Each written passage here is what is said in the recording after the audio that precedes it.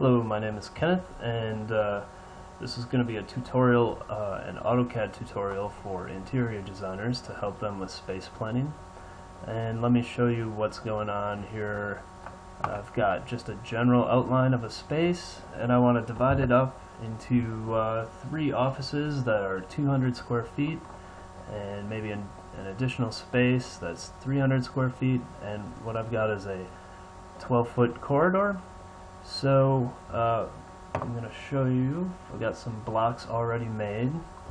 So I'm going to pull this 200 square foot block in and I'm going to drop it and it doesn't quite fit. So I'm just going to pull down on this guy and stretch it out and now it fits and it's still 200 square feet, that rectangle. It's 200 square feet still even though I stretched one side of it because it has uh, constraints, uh, constraint parameters applied to it.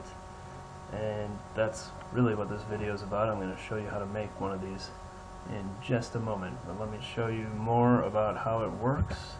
And okay, I can just easily divide out that space and grab a 300 square foot room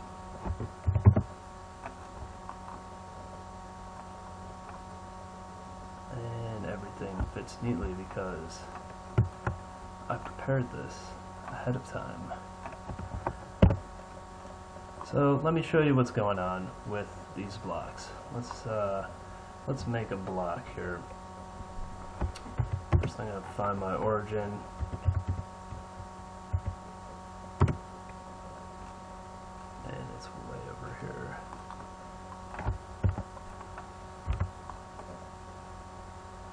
So, what I'm going to do is just make a rectangle, start from the origin,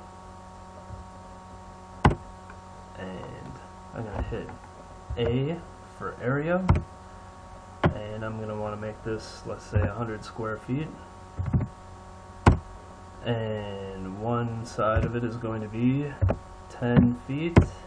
There's my rectangle that's 100 square feet, and just throw this text in here using the uh, shift right click to pick between two midpoints or between two endpoints rather. That way the text is nice and centered on there. And I'm going to turn this into a block. I'm going to give it a simple name.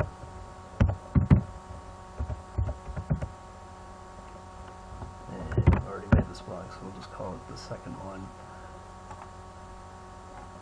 so here is uh, the block editor and all these things up here come out on your ribbon automatically.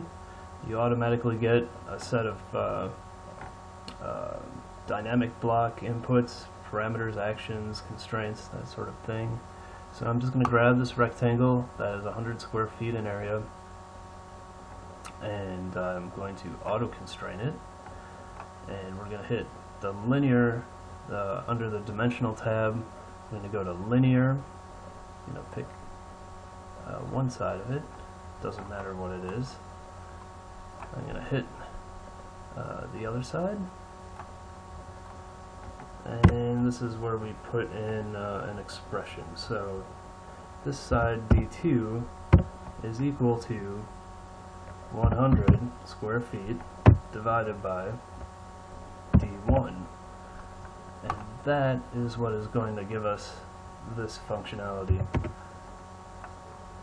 I'm going to add one more parameter just for the text. And that's just going to allow me to move the text around.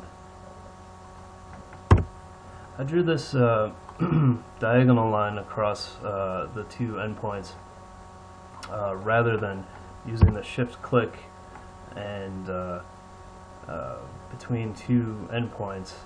And uh, the reason is, is that you don't want to uh, associate uh, this text with one of these corners because these corners are going to change as you stretch this box. And so that's pretty much it. And here we are. I can stretch that and I can move this text, hit between two midpoints, there we go. And uh, one thing that I forgot to mention is that I am uh, in a unitless drawing, so I am not actually showing 100 square feet. I'm showing 100 square inches, so I'm just going to scale this up by 12. And then you can see there, um, that even though I've changed this, if I do an area command, I can quickly find out that it is in fact 100 square feet.